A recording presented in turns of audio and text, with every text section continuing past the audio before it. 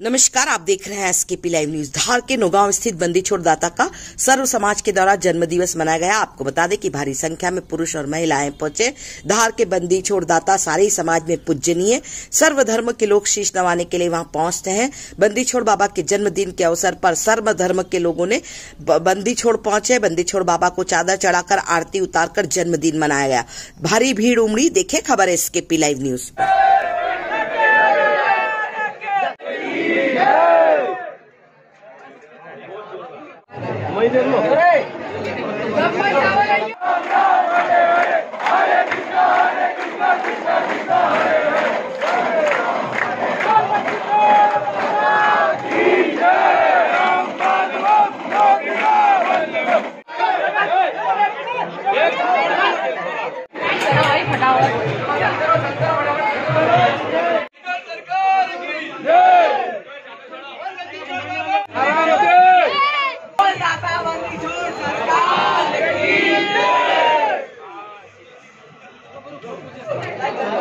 चलो चलो भैया